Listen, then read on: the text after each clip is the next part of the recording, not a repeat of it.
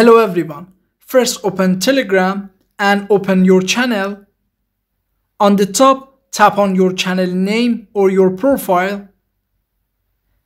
Tap on edit. Tap on reaction. And tap on enable paid reaction. As you see, a star reaction add to a viewable reaction section. If you don't see this option, please update your telegram.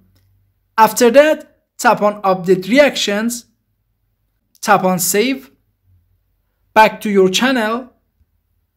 Now tap on any post. Now your subscriber can use a star reaction. Tap on it. Now they can choose how many stars reaction to your post. As default is 50 stars, they can reduce or increase the stars. After that, tap on send. Now if that subscriber doesn't have a balance, they can buy stars and pay to your post.